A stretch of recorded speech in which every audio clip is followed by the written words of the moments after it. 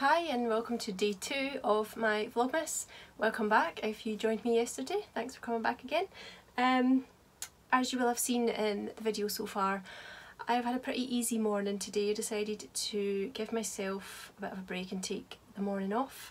Um, I had to do something really horrible this morning, wasn't very nice at all, um, so I decided to go easy on myself and have a bit of downtime. Um, I'm not going to go into details but I just want to point out that it's really easy to make a 10 minute video that looks all shiny and happy.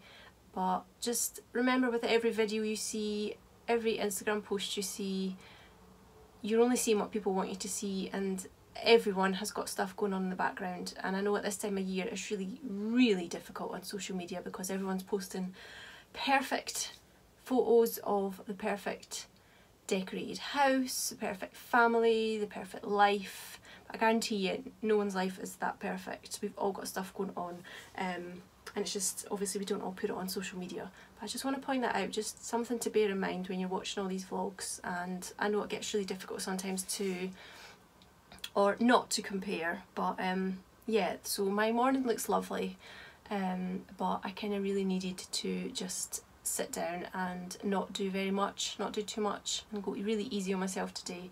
So I've done that, um, I've had my lunch. I cut out some bags yesterday, I think they are here. So I'm going to sew these up just now I think. These are really pretty.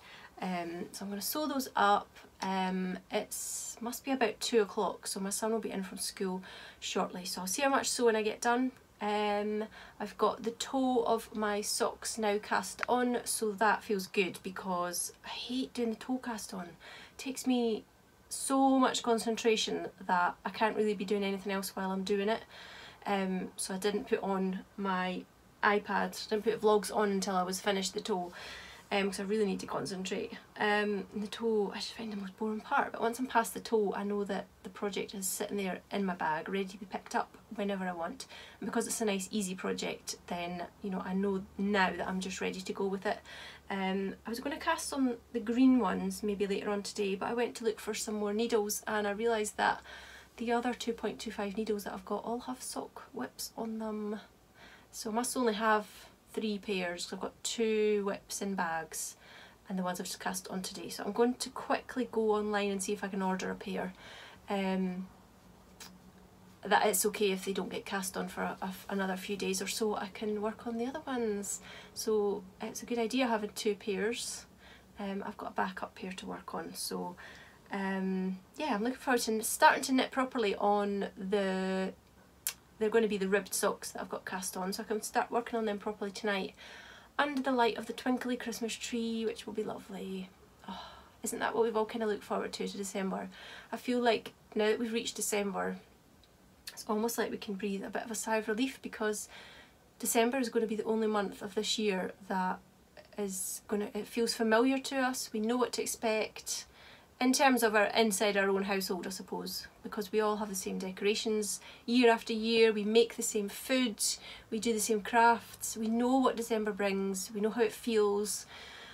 Oh I have looked forward to December just knowing that you know the twinkly lights will be up and all the nice scented candles the Christmassy ones will be out and the mulled wine and the mince pies and I make a Yule log and all the nice stuff and it's just the one thing that I think we've all been certain of this year so I hope that you are going to find as much comfort from December as I am hoping to find.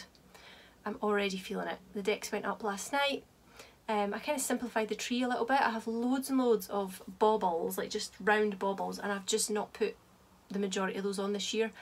I find it so boring putting them on. I love the look of them because they, they glint in the light of the fairy lights but I just couldn't bother put them on and then you've got to take them all off again at the other end so I didn't put them all on but I've got a lovely selection of decorations on the tree and around the house and over the next few weeks I'll show you some of those.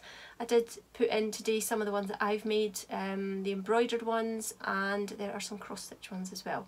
The embroidered ones were just patterns that I'm just made up myself, I just kind of sketched them onto the fabric and then embroidered them. The cross stitch snowflakes are from a book called A Rainbow of Stitches which is a really fantastic resource if you like cross stitching and embroidery. There are Um, so many projects in the book under so many different topics. Um, I really love the Christmassy ones and I've used them a lot. Probably the Christmas ones more so than others, but I have made some of the other projects in the book, but it's a really good book. Um, and I did see on the bit of video that the, the Christmas tree cross stitch slash embroidery was from a cross stitcher magazine and I remember taking that on holiday to stitch in, I think it was a September and it was a very very warm September here in this country and I was sitting stitching a Christmas tree in the sun.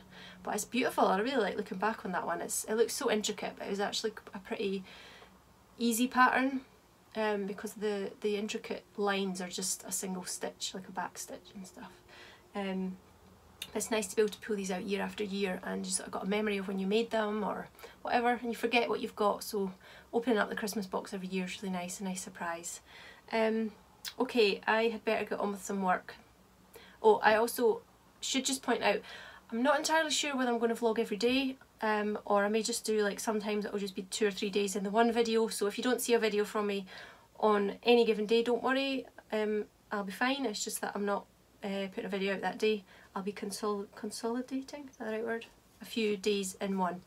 Um, I think it's better that way that I say that to myself and that way I haven't got the pressure to put out a video every day. Um, but if I do do a video every day then that's an added bonus. Um, so I'll leave it there and um, I will see you next time.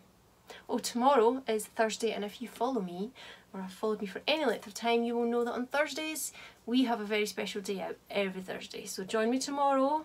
I'll do a video tomorrow. Join me tomorrow and we will have a lovely day. I assure you that. Bye.